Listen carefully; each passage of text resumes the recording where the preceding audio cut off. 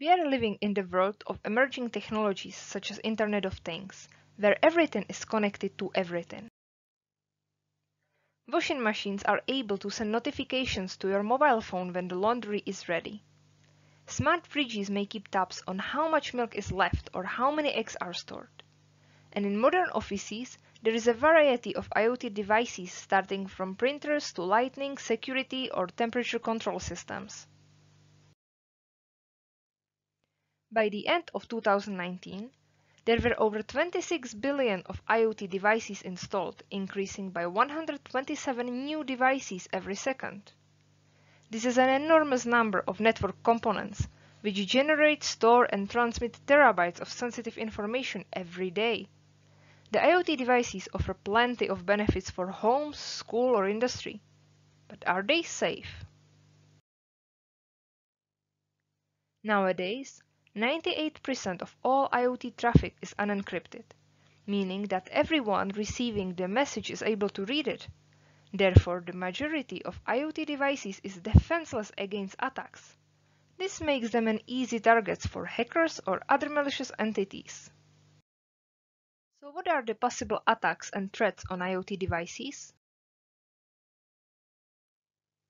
Some of the most common security-related threats include eavesdropping, man-in-the-middle, denial of service, device infection, botnet, and distributed denial of service. Let's have a look at them.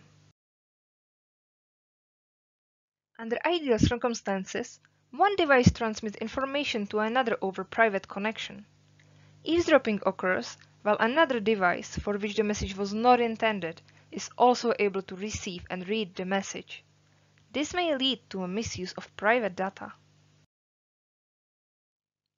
Man-in-the-middle attack is similar to eavesdropping, but the original message is redirected through a malicious entity. This device may read the message, adjust it before sending further, or block it completely. Denial of service is a specific kind of attack, where the malicious device sends enormous amount of messages to the victim device. The attacked device gets overloaded stops working correctly and is unable to further transmit or receive data. In case the device is not secured enough, the attacker can send a virus, Trojan horse or other malicious software to the victim device, resulting in device infection. Based on the malicious application, the device can stop working, report the data to the attacker, or further spread the virus. A so-called botnet is created when a single malicious device called the operator infects several other devices with a virus. These devices are able to further spread this virus. The created network functions normally, but can be controlled by the operator at any time. The most famous IoT botnet to this day is called Mirai, targeting mainly IP cameras and home routers. Distributed denial of service is a large-scale attack on a single target. The operator orders all botnet devices to overload the target at once. These attacks are posing a threat to large servers. Such an attack occurred in 2016 by Mirai, which attacked DNS services and disabled GitHub, Twitter, Netflix, and many others. So how can you protect your devices?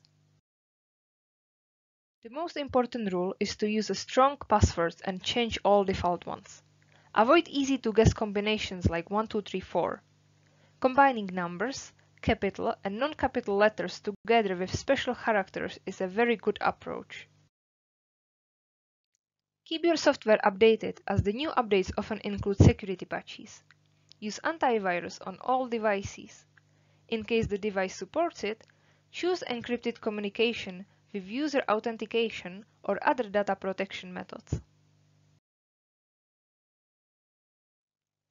Thank you for watching. My name is Lucia and if you like this video, please give us a like and subscribe to our A-WEAR channel.